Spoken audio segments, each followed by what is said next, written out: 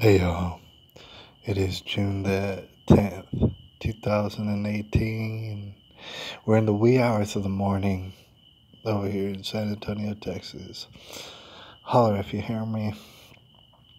Alright, we're here to discuss uh, some questions and some ponderings that we've been having about, you know, the whole Parkland situation in regards to Nick Cruz and the shooting. All right. Uh, we're here to discuss particular uh, questions this evening, particularly the questions beginning in why. All right. We do from time to time here, uh, we have on this channel over the dozens of videos we've made, and there is a playlist. You can go to Free Nick Cruz playlist here on this channel and see a, a bunch of the early videos in regards to all this. We do discuss the why, but only ever so rarely. I wanted to take some time right now to do some of the why questions because I feel like it's pretty well appropriate. First of all, shout out to the man at the top of the screen, right? Uh, I, you know, he'd fallen off my radar a little bit for a while just because I've been trying to keep up with everybody. Falling off my radar.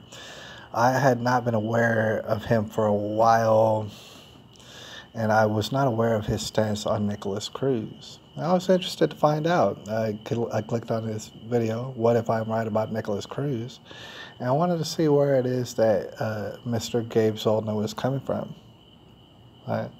I was kind of a little bit surprised to find out that Gabe Zoldner, in fact, does believe that Nikolas Cruz is entirely innocent in this particular situation.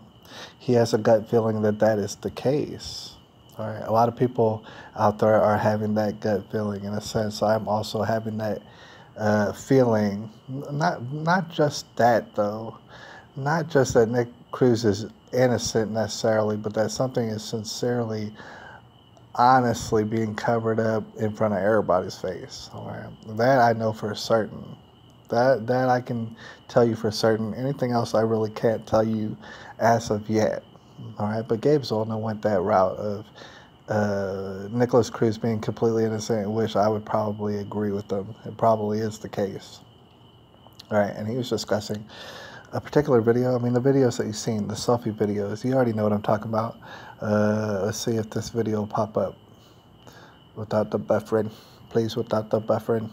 Oh, so much buffering. Anyways, forget that video, but you know what I'm talking about, the selfie videos, all right? Gabe was talking about, first of all, the cast is a little bit suspect, just a little bit, and that he has a cast one day and he doesn't have a cast the other day. Uh, a lot of people have been talking about it, uh, but nothing really coming from that necessarily. And there could be all sort of excuses for that at the end of the day. All right. And he was talking about how it looks very funny. The words coming out of Nick Cruz's mouth just look funny. And then that you start to wonder, like, if those are the words or ha- has it been dubbed over. I mean, it kind of looks funny in a way.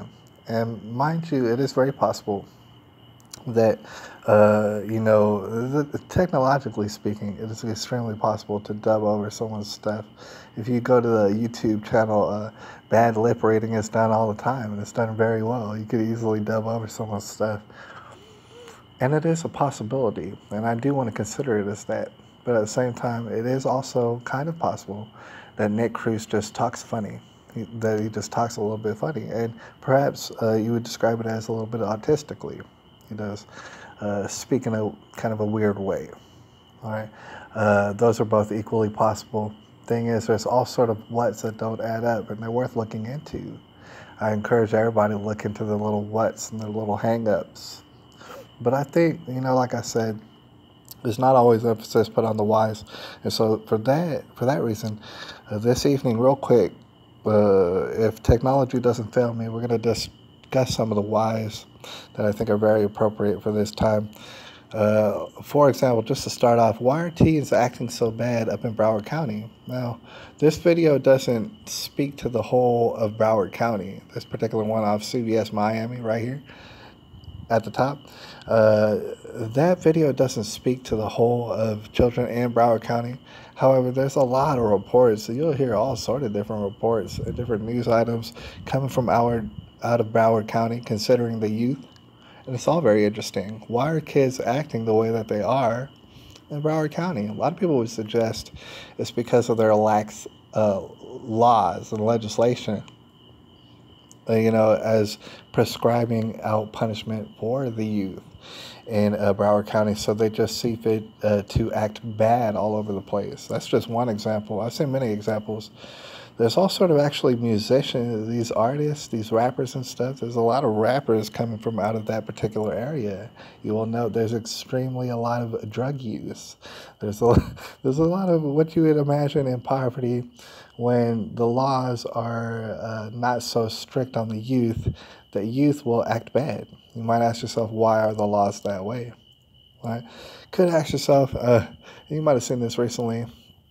We got David Hogg over here uh, and he's with his band of cohorts and stuff. And you know, just when you thought that David Hogg was irrelevant, and everybody thought that, he gets his friends together to go lie down and pretend to be dead on the grocery uh, floor, the the floor of the grocery store. Called Publix over there in his particular area. We don't have them around here, but uh, he goes and he lies down on the store floor and pretends to be dead. with his friends and stuff. It's like, dude, why don't you get a job? You might ask yourself, why don't why doesn't David Hogg get a dang job? Right? Instead, he's lying. Instead of going to the grocery store and trying to get a job and trying to get a job, he's instead extorting the grocery store by lying down on their floor during business hours. Talking about pretty much attacking them politically. All right talking about all sort of bullying. Why is he? Why has David Hogg always been a bully? It seems, and he's continuing to be a bully in front of everybody's face, and that's just acceptable. Even though uh, tragically lives have been lost due to the bullying, why is he still doing it? That's interesting. That's a why question. We got why is Scot Peterson uh, pretty much? Uh, why does he look so broken and disheveled? Right? Could it have been that his life was uh, ruined right before him and stuff, and that he had no idea that any of this was going to go down, and this situation was completely out of his hands? Why does he look that sort of a way? Why is he uh, completely opening up and almost coming to tears over this situation in front of ABC? Well, you might ask yourself why. I, I, I was asking myself why the thing is, I was just pondering about it, and I assume that they think, and when I say they, I think uh, Scot Peterson, along with and especially his attorneys, think that that was a good idea. All right, and technically speaking, as a PR note, it might be a good idea if Scot Peterson were just to blubber in front of everybody and uh, admit that he had no idea and it was out of his hands that day. All right.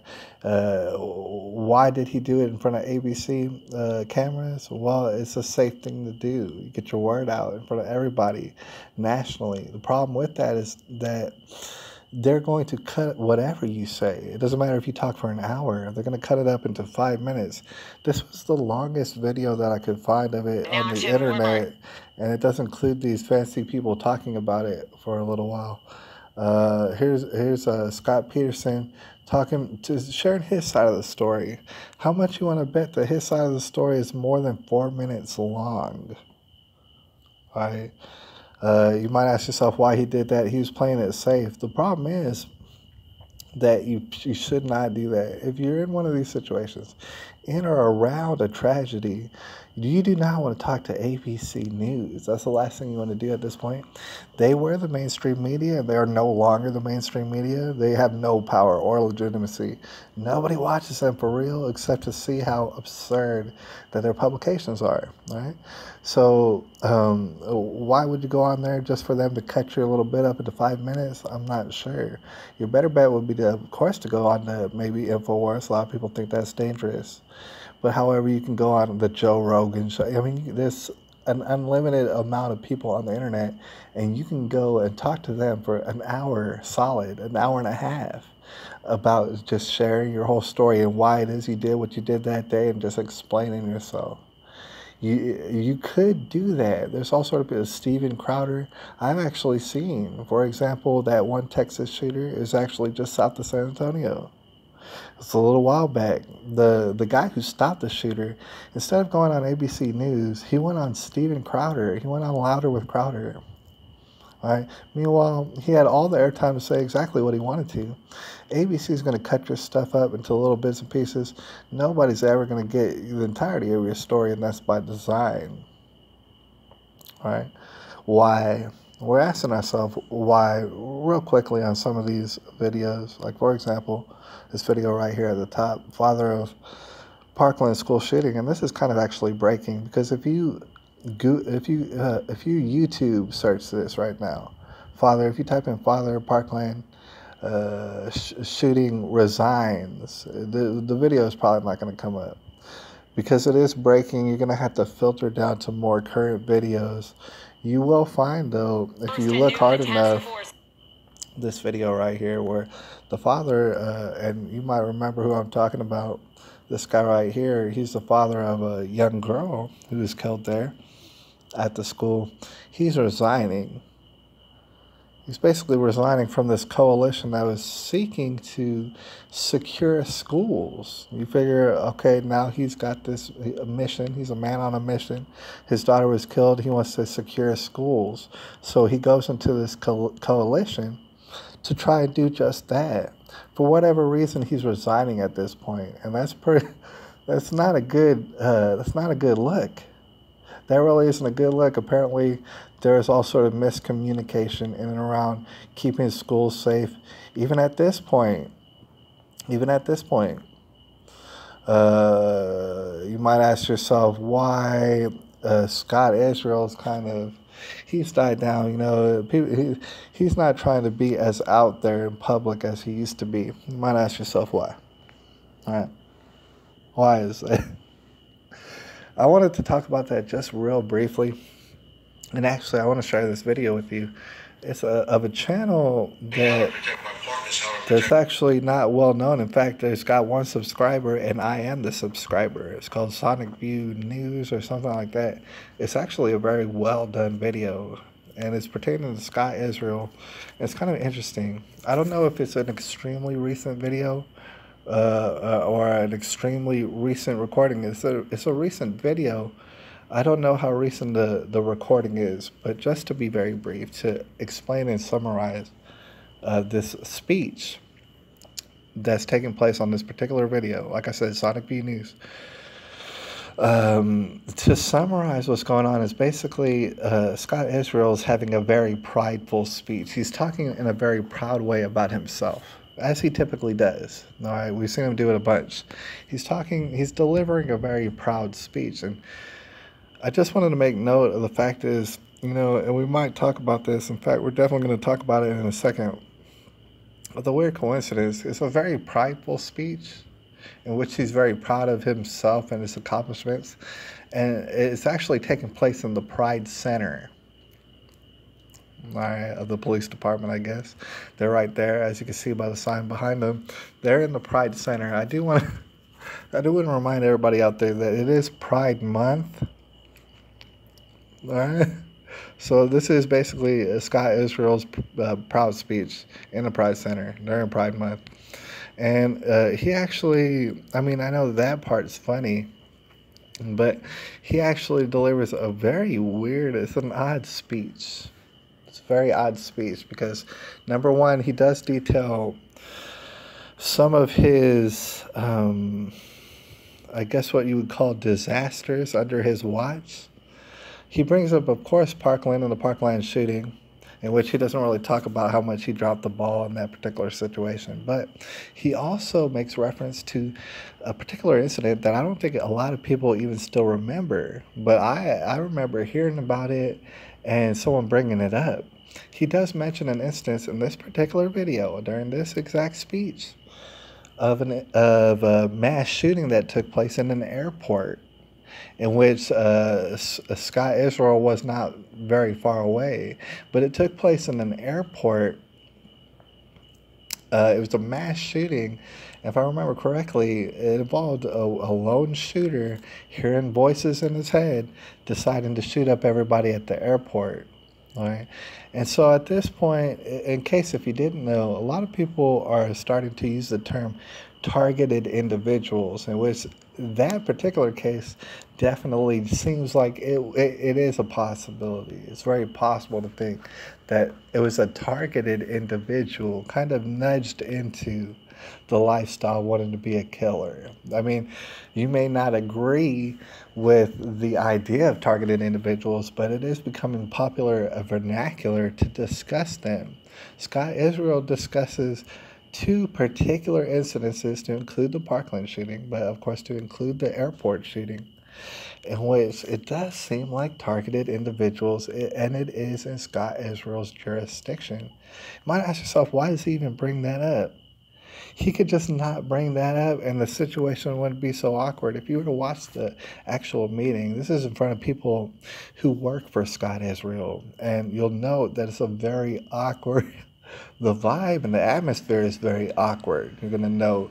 You're gonna wonder why Scott Israel is saying what he's saying, but even before he leaves out, if you're to watch the video and the little speech that he has, he assures everybody that he is not political. And he wants and he emphasizes it for no good reason. He just tells everybody, look, you guys, it doesn't matter what you are, what race, what color, what this and that, and your creed and stuff. I don't want to get political. I don't want to be a political sheriff. I just want to. This is his basically his own words. He's like, I don't want to be a political sheriff. I just want to be a sheriff, you know, and protect everybody. And then later on, he went into a political rant like you wouldn't believe, and I believe he almost said, "God bless you," like Hillary Clinton. I mean, he said something so. He was basically groveling at Hillary Clinton during his speech, in which Hillary Clinton wasn't even there for no good reason. he went like extremely political after saying, I'm not going to be political in a speech where it was not even necessary, all right, for people who work for him. But like we said, that was a speech that he just gave, and you're asking yourself probably why he did that during Pride Month. His very proud speech in the Pride Center I'm not sure exactly, but this video right here that's now at the top, that's actually Dana Loesch. And I believe that's kind of recent. We're going to look into that actually real quick. And that was already out there. Real quick, uh, see how recent uh, it was put on the internet as recent as June the 2nd. So it's probably a pretty recent uh, detail mentioned by Dana Loesch pretty recently, and I'm going to go ahead and give it a thumbs up, in which Dana Loesch is talking about, oh man, it's possible. In fact, people seem to believe that Scott Israel hid his son's sexual assault. It is a possibility. That's what they're saying. Uh, meanwhile, you know, let's see, it's not going to take very long. I actually want to hear her describe what it is that is alleged that Scott Israel's son allegedly did as far as a sexual assault. And she's not going to take very long to get to the point. Furthermore, we also know that there have been more reports that have come out that show just how far gone this, this the leadership of the sheriff is. Numerous local media reports showcasing how Sheriff Scott Israel and that same cowardly deputy worked to hide the fact that his son was implicated several years ago in a sexual assault case that involved bullying in a school. Yeah, they did. They held a kid down and tried to shove a bat up his rectum. How do you like that? Yeah. Dana, Dana, I don't like that. How do I like it? I don't like it. But I, I don't know. I think the question becomes uh, Scott, Israel, why is your son doing this? Why did your son do that? Not everybody grows up doing that, but your son did. That's a very big question. Allegedly, if that is true, we're going to have to get to the bottom of that. No uh, pun intended, but Scott Israel's son's doing some very questionable things. And I might ask why. I don't know if he's proud himself or he's proud as his father is, but he's doing some questionable things. Before we get out of here, uh, this uh, this particular YouTuber, Mr. Mediocre, I put a thumbs up on his video because I thought it was pretty good.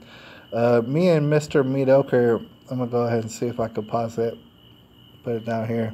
Me and Mr. Mediocre, we really don't agree. In fact, I think Mr. Mediocre is pretty sure that Nikolas Cruz did shoot up the school in his video, which continues to buffer, he basically mocks Nick Cruz. All right.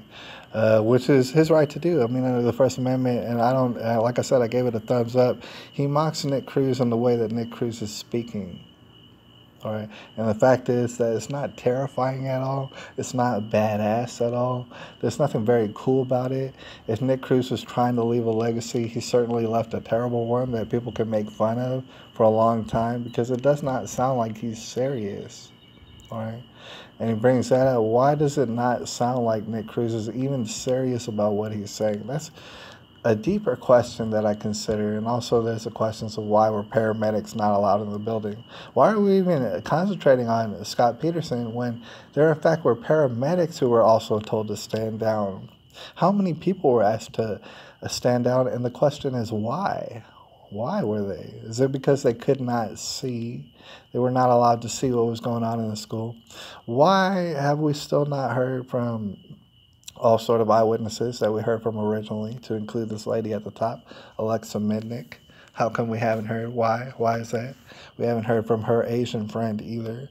We haven't heard from that Hispanic little girl who's talking about multiple shooters quite clearly. Haven't heard from that teacher uh, who you know who's talking about that fully armored up RoboCop style uh, dude shooting up things in the school, which was pretty well impossible, and it seems like it was covered covered up. Uh, that's pretty well impossible. And we haven't heard from, uh, for example, and the list probably goes on and on, from the young boy who saw the shooter pull a gun out of a what looked like a guitar case, probably was a rifle case. Haven't heard from that young boy either. And meanwhile, uh, like I said, uh, as far as I know, there there are zero eyewitnesses. There never was any eyewitnesses to this uh, particular incident right? And the why, I guess the answer to that why, why was there no eyewitnesses, is because this uh, young boy here allegedly was a killing, murdering genius, all right? And that's why there was absolutely nobody to this day who says that they ever saw him shoot anybody. There is no evidence that he ever did shoot anybody. You can't you can't see or hear anything that he says. Why is that? It's because that's how our system here is trying to play us all like fools, right?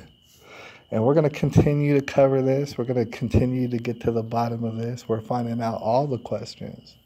All right. There's going to be a lot of whats and whens and wheres that we that become discovered that become uncovered by us. But most importantly, most importantly are those whys.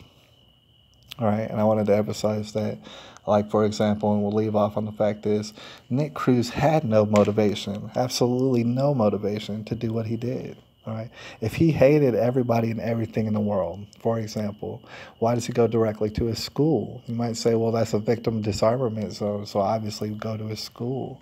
Okay, well, that makes sense. But it would make more sense that he hated everybody at that school. All right, why is that? Well, maybe because they bullied him. Maybe because they admitted to bullying him. Maybe because everybody thought he was a weirdo and put him off to himself. All right, well, if that's the case, then it would make sense that he would go to the school. All right, so he goes to the school and he goes directly to the freshman building, which he probably doesn't. He's 19 years old. He seems like a loner. He probably doesn't know many freshmen. All right, so he goes to the freshman building, starts shooting it up. That doesn't make sense. Right, he does it on Valentine's Day. You figure be romantic. He brings up a lady named Angie. All right, uh, who is Angie? Nobody knows. Nobody even knows who Angie is. Nobody is hardly questioning it. Who is Angie? She wasn't shot up at the school. That girl that he was so called obsessed with, her name was Dana. Her her boyfriend did not get shot up. Dana did not get shot up. Nobody that they knew got shot up. It was the freshman building that got shot up for basically no reason on Valentine's Day. You figure it would have been a romantic thing. That's why they told you about Dana and everybody else. About the boyfriend and this and that, about the fight. They were trying to make you think, oh, maybe he had romantic vengeance on his mind. Maybe that's why he went into school. He hates everybody and everyone because his romantic interests did not work out and he's a loner. So he goes to shoot up everybody on Valentine's Day. But he also does not even attempt to shoot up his ex girlfriend or her ex boyfriend or nobody that they know. There is no why, there is no motivation. Had Nick Cruz done nothing, like I said, and this is openly, this is publicly known, he would have received a trust fund of anywhere between a quarter million to a million dollars. He's sitting pretty, all right? Most children do not live in that kind of affluent situation with the trust fund coming their way, all right? The whys absolutely don't add up. And we might try to figure out the whens and the whats and stuff. We may be wrong in some instances. We may be right in certain instances. We may follow certain leads that go nowhere. But we always have to remember we're sitting on top of a gold mine of lies, basically. And the whys are never, ever, ever going to add up. And people are just going to double down. Right? Scott Israel is just going to double down. He's going to he's going to get even more political, extra political. And things are reaching to a fever pitch at this point. And I'd like to thank everybody out there who's uh, on top of this case. There's countless of people probably on top of this case right now. All right. And, uh, you know what I'm saying? It's just because at this point, we, you know what I'm saying? We do a way better job, obviously, than the people we have in charge. And a change needs to be made, and we're making that change. We're all up in the tribulation. Anyways, we've been here long enough. I'll holler at y'all a little bit later. It's June the 10th, 2018.